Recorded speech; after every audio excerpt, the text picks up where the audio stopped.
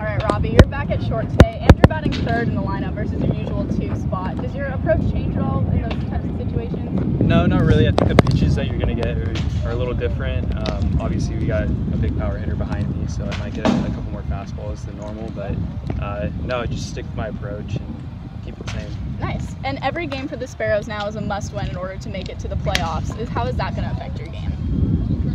Treat it exactly like that. You know, it's a must-win. We have to have energy. We have to have focus. We have to have, uh, you know, just drive, drive to compete to win. All right. And lastly, what is your go-to pregame song to get you hyped up? Oh man, I listen to anything. Uh, yeah, my my whole playlist is Chili Peppers, rap. All right. Awesome. Thank you.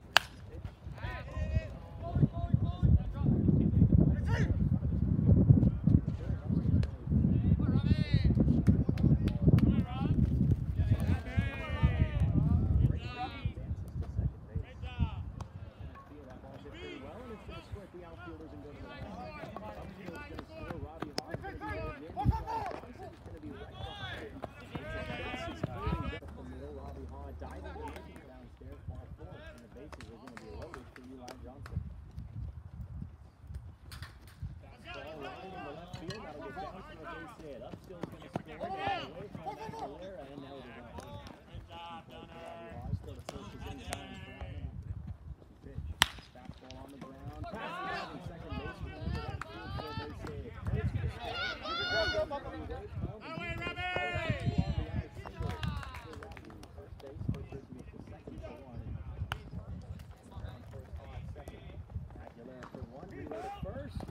you had a single in the first inning that led to a run. Does your confidence in the game go up early when you're able to get on the board early? Yeah, definitely. It definitely does. Um, you know, something about seeing the ball better. Uh, next at bat, I don't know.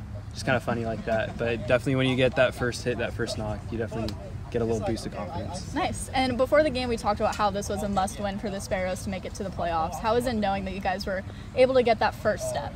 Definitely uh, a big confidence builder for the team uh, in general you know, we all know that we have the talent to, to make it to the playoffs, and so it's just a matter of putting it down on the field and uh, getting these dubs.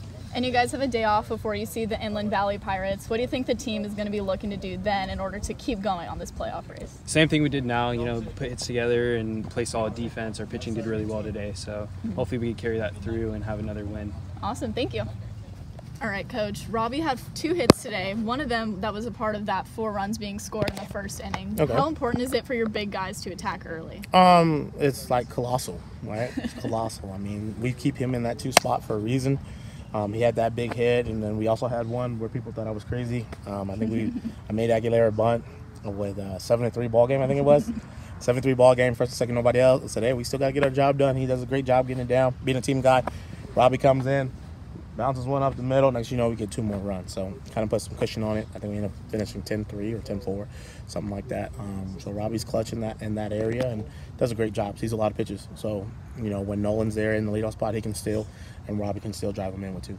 And you had him in the three spot today. What was going into that decision? Um, just a couple new guys uh, playing today. Some guys who got days off. You know, Nolan got a day off today. He needed it. Um, we had a couple other guys. Lucas had a day off for the most part. So we're really we were giving Upstel and said, okay, Upstel usually sees a lot of pitches. We'll put him in the one spot. Um, followed it with Aguilera, who needs to get some playing time in, and the best place for him to be was in the two spot. So then I said, okay, we need to go Robbie three, um, followed by Acuna four, and then having Eli back in the lineup to be five. Nice. And we talked about these last few games being must wins for the Sparrows to make it to the playoffs. How is Robbie contributing to that so far? I mean, he contributes to it all. And, you know, like me, I live by the motto that every game is a must win, regardless if it's like, you know, mathematically possible for to make a playoff spot or not. I just believe you should win every game. And if you don't win every game, then you need to find out how you can win the next game and the next game after that. So, did a good job winning this game. Uh, Robbie was a huge contributor in that. And yeah, like you're right. Now it's getting to the point where almost every game is a must win um, mathematically.